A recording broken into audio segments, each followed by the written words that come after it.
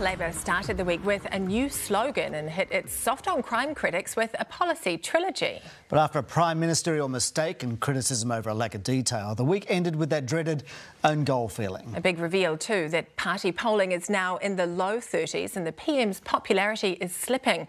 With 11 weeks to go, can Labor revive its campaign? The minister charged with doing just that is Megan Woods. So I began by asking her what the new Labor slogan, In It For You, actually means. Well, I think what it says is exactly what's on the tin, and that's a big part of the point. Um, that um, it's very much about who we are as Labor, and it's very much about who Chris is as our Prime Minister and as our leader. Um, he's a he's a, a, man from the Hutt. I'm not going to call him a boy, right. Um, and that um, that understand what it's like out there for ordinary people. Much like, uh, you know, I'm the MP for Wigram. I see that people in my own patch are doing it pretty tough. Okay, so he's in it for them. But it's not like the collective call of previous slogans like, let's do this and let's keep moving. It's far more individualistic. It's far more self-centred, really. Oh, look, I, I, I don't read it that way. Um, I see that this is a, about a, a, government that's got the got people front and centre of what it's doing. That when we make decisions, it's about putting people at the centre of that decision making. I mean, let's do this, and, and that's only you're only pointing to two campaigns. No, the two previous ones, two and they, previous... they were let's, they were a call to arms, they were inclusive. Yeah, but look, I mean, I think in it for you that people need to know that they they've got a choice at this election. Of course they do. There's yeah. a government that are going to put people at the centre of decision making, and that is exactly what the Labor Party is offering. All right. So, so Chris Hipkins is in it for us. He's foreshadowed a practical campaign does that mean it's going to be safe? Is it going to be cautious? No Kiwi builds, no nuclear-free moments, no big ideas, no big promises. Safe. Well, of course, all the all the policy will get released as we go through the campaign. But in terms of the machinery of the campaign, in terms of what that looks like, I mean, this is about finding ways um, in which we can have conversations with New Zealanders about the things that are important but to the, them. The, the flavour, I mean, practical, the flavour of the campaign.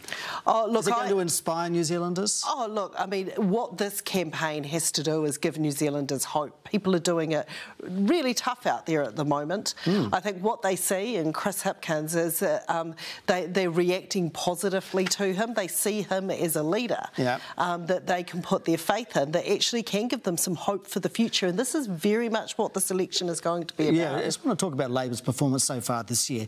So many ministerial mistakes recently. Stuart Nash, Meka Whaitiri, Jan Tinetti, Michael Wood, Allan.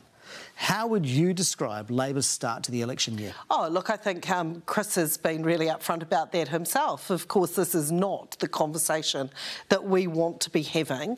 Um, and he's made it pretty clear to us as a caucus as a, and as a cabinet that we have to focus, that we need to be focusing on the things that matter to New Zealanders. And that people are doing it tough, yep. and we need to be absolutely laser focused on what the solutions are for, for so that's the policy, people. right? That's policy. Absolutely, okay. and that is what we are doing. Okay, so let's talk about policy this week: youth offending and justice. Mm-hmm issues the opposition has been hammering for ages. Are you being too slow and too reactive? No, not at all. I don't accept that. Like, I mean, if you, for example, you look at some of the, the, the youth justice policies that we've released this week, they're a continuation of work that has been underway for a long period of time. What do we do for those group of kids who we are failing, That's who right. we're not reaching with that? And this is a continuation of that policy. So I wouldn't call it reactive. You wouldn't this, call it slow? No, not at all. This has got to be something that any responsible government continues to monitor. If you were, if you were responsible, maybe you would have done it six months ago or well, 12 months we, ago. We wouldn't have had that evidence around the 77% of kids who are uh, succeeding in okay. the program who are not reoffending. But when you do release these policies, you've got mistakes happening. Like the, on Monday, the Prime Minister had to correct it. And then with the youth facilities, Kelvin Davis didn't have costings or a business case. It feels rushed and it feels like there are mistakes happening. Oh, look, I don't. Look, the Prime Minister made a mistake on Monday. I think that um, anyone in the country that can put up their hand and say they've never made a mistake, then let's have a conversation about that. But Chris is more than happy to say, yep, I made a mistake. And does that sit well with the uh, voters that he's having to uh, say that? Let, us actually just go back and look what the mistake was about whether it was an aggravating factor in sentencing or whether it was a new offence. The outcome is still the same. That what it's saying is that we're putting in systems in our justice that actually yeah. takes this into it's account. It's preferable not to have to do that. Oh, of course, it's preferable okay. not to do that. But I think in terms of the um, people saying the business case hadn't been completed, we'd equally be sitting here getting hammered by you, Simon, if all we've done is that we have to we have to wait till we've completed all the business case before we can say that right. this is what we're going to do. Let's talk tax. Huge call by the Prime Minister to rule out capital gains and a wealth tax. I would imagine that bitterly disappoints core Labor supporters, and I wonder why you're prioritising swing national voters over them with this kind of ruling out.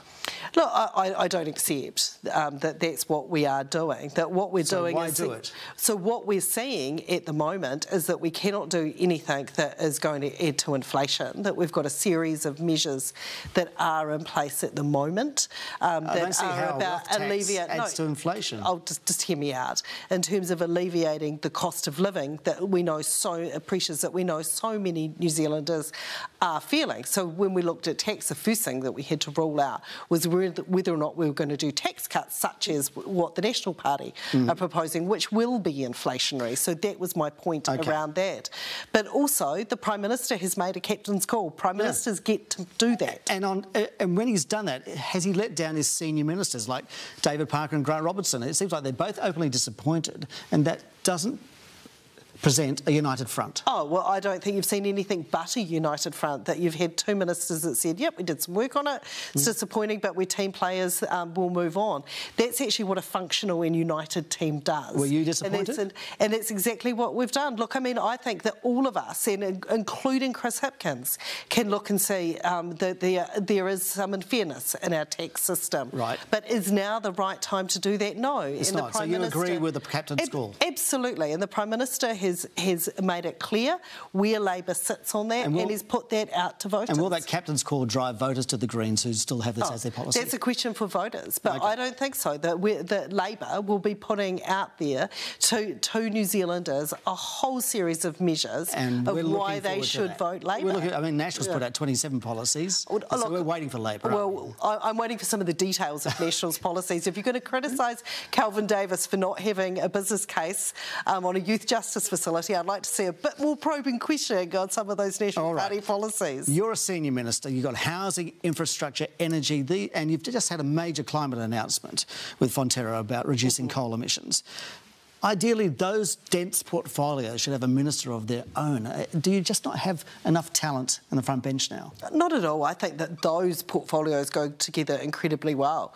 If I look at what I what I've been able to do, um, holding both the energy and the housing portfolio, in terms of the work we're doing around solar panels on our public housing, mm. looking at what we can do to address energy hardship through housing. Yeah, but they're really dense portfolios. I mean, they're really dense policies. The energy announcement is another dense look, thing, and, and it needs your full full-time commitment. Big, big issues. And, and, look, I mean, I think that all of those portfolios are portfolios where we've made really good gains in as a government. I don't think they have suffered okay. by the fact that I hold multiple portfolios. Right, and are they suffering because on top of all that, and, and, and, being generous, the campaign's looking tight, isn't it? So, and execution will be critical for mm-hmm. you. So, should you be the campaign chair, or should somebody else be focused on that full time? Oh well, we have a full-time campaign manager. Um, that the so campa- you can do both. Uh, the campaign, the role of the campaign chair is not a full-time job. It's not to do the operations. The campaign chair is the strategic oversight. Mm. It's about put, uh, making sure that all the all the bits are in place and that it's going through there. And I think what we've seen from political parties over a number of campaigns now that this has been, if you're in opposition, a member of caucus or a senior minister um, that has done it. So. Um, um, I, you know, um, I, I know totally I can done it. Do I've done it before. You I have. know I can do it. Different I can election do it again. Uh, part of the campaigning is to raise money, large political donations. So far this year, National has raised, raised $1.6 million. Then comes the ACT, Greens, even New Zealand First, and then Labor with about $400,000. You're fifth. that's large donations. That's large donations. That's large donations. and Labor, Labor has never traditionally collected its donations in the form of large do- large donors. But you do that's raise not, money. I mean, the last election you came we, second. Yes, you know, we do raise money, but not that's not all through large donations. You're only going through the large donations. A lot of the that's money. That's all that, I can go through. no, no. But what Labor traditionally gets, and I think if you look back over over many elections, that you'll see we get a lot of small donations. Uh, mm. Uh, people that put in what they can because they support seeing a Labor government returned. But Simon, I'll point you to the fact that National completely out fundraised us at the last election. That how much money you raise is not a sign of how well you're going to succeed at the polls. And I think the Fed, I think it was nearly twice as much that National raised at the last election. Oh, so 2.8 million to your 1.5 million exactly. last election. But you're not worried the way, the way that this trend is going with these large no, donations? No, uh, well, in terms of how Labor is yeah. tracking, in terms of our... The our, money coming in? Oh, no, no, um, we, we are on track of where we need to be. Of course, we always need to raise more money. As I said, this is nothing new. This is the way Labor parties have raised money for, for decades and decades and decades. It does not come in the form of large donations. All right. We all acknowledge it's been a crazy few years, and I wonder whether you fear that no matter what you do, what policies you put out there, voters are tired and they do associate Labor with the difficult times. It's just that they need a change.